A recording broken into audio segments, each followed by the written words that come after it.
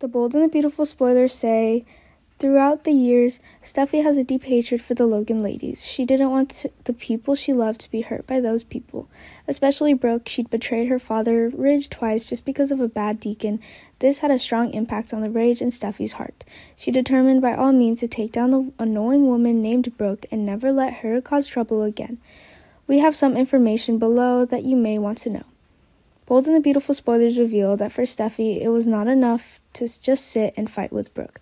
She wants to let everyone in the world know that the scandalous truth behind Brooke's fake confession. Remember, Brooke hurt Ridge openly, bringing back Deacon, ignoring his warnings. But look what's going on. She let an innocent kid like Douglas see her hot lip lock with that Deacon. Steffy was truly disdainful. They played me like a fool, and she declared, We will expose Brooke.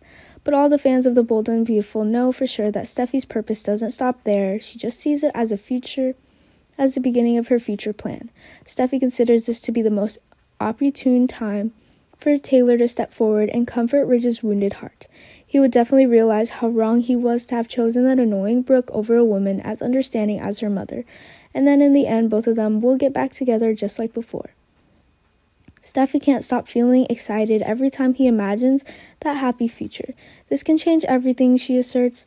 Brooke is now facing the risk of losing everything she has built over the years, including Ridge, whom she considers her destiny. Brooke knew the consequences she would receive if that New Year's Eve secret was exposed.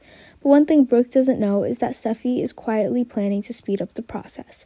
It's currently unknown if Steffy will take any action to achieve her Ridge wish to reunite. But we do know for sure that Steffy will definitely expose Brooke before she accomplishes her goal.